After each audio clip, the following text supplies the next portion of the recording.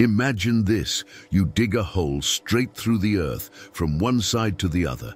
Now you stand at the edge, take a deep breath, and jump.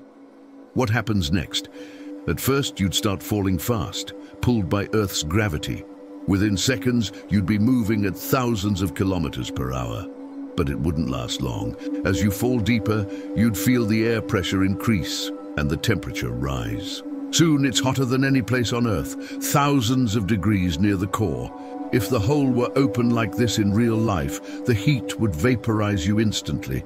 But let's imagine, for science, that the tunnel is magically protected, with no air resistance or heat.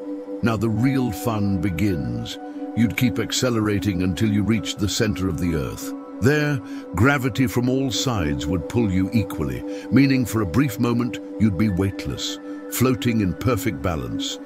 But since you're still moving, you'd continue past the center and start slowing down, climbing toward the other side of the planet. Eventually, gravity would pull you back again, and you'd start falling once more. So instead of falling forever, you'd swing back and forth, just like a pendulum. Over time, friction and air resistance would slow you down until finally you'd stop right in the middle of the Earth's core.